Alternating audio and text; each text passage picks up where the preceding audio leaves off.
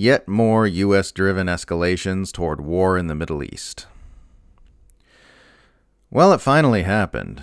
The scores of attacks on U.S. troops in the Middle East in response to Israel's U.S. backed atrocities in Gaza have gotten some Americans killed, just as critics of U.S. foreign policy have been saying would happen for months. Anti war's Dave DeCamp, among those who have long warned of this eventuality, writes the following quote, Three U.S. troops were killed by an overnight drone attack in northeastern Jordan, the first Americans to die by enemy fire in the region since President Biden threw the U.S.'s weight behind the Israeli onslaught in Gaza. According to CNN, one way attack drones hit Tower 22, a small U.S. outpost in Jordan near the Syrian border. Over 30 troops were also wounded in the attack. Since mid October, U.S. bases in Iraq and Syria have come under attack over 150 times in response to U.S. support for the Israeli slaughter in Gaza. The overnight drone attack in Jordan appears to be the first time Tower 22 was targeted. The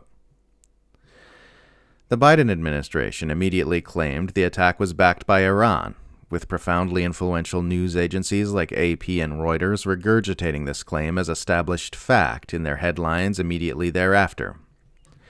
As DeCamp notes in the aforementioned article, back in October, a U.S. official acknowledged to CNN that there's actually a persistent intelligence gap as to how much these Shia militias are in fact beholden to the orders of Tehran.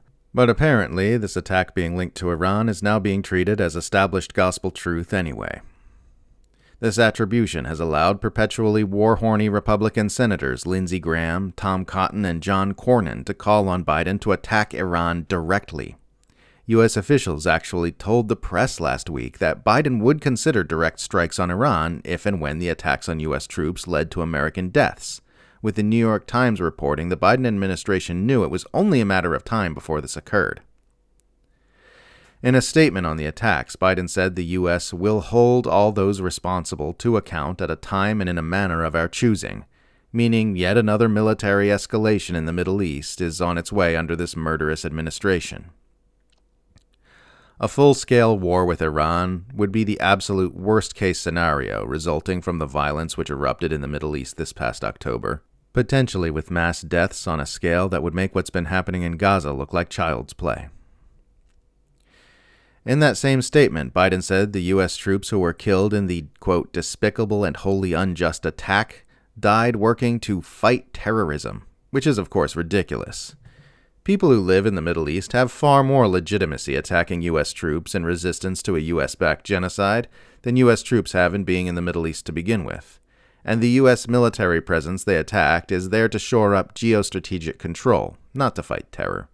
As Aris Roussinos explained in a new article for UnHerd, the U.S. base by the Jordan Syria border that was struck by Iraqi forces functions as a support base for America's Al Tanf garrison, a sprawling deconfliction zone, read illegal military occupation, in Syria, which the U.S. has for years been using to disrupt Iranian activities in the region and help Israel carry out its constant airstrikes in Syria. Fighting terrorism is just the pretense for the U.S. military presence in the region. As always, the real reason is to facilitate the geostrategic domination of the U.S. empire. Those three U.S. military personnel didn't die fighting terrorism. They didn't even die advancing the interests of ordinary Americans. The real reason they died was summed up nicely by responsible statecrafts Trita Parsi. Quote, they didn't die defending U.S. interests. They died defending Biden's refusal to press Israel for a ceasefire. Their lives were put at risk by Biden to defend Israel's ability to continue its carnage in Gaza. End quote. Parsi has spent months arguing that the only thing that can de escalate the rapidly expanding hostilities in the Middle East is a ceasefire in Gaza, since that's what they all ultimately arise from.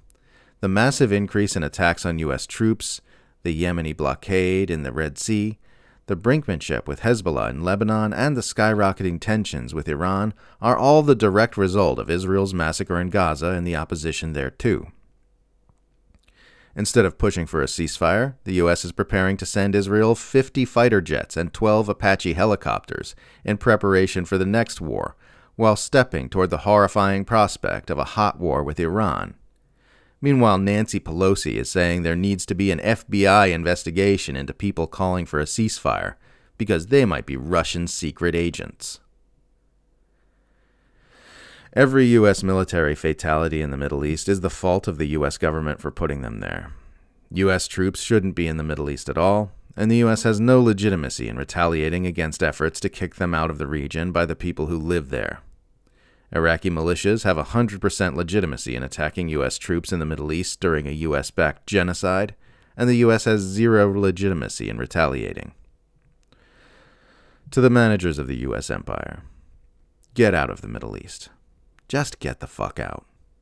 Stop backing a genocide in Gaza, stop murdering people to shore up domination of world resources, and leave.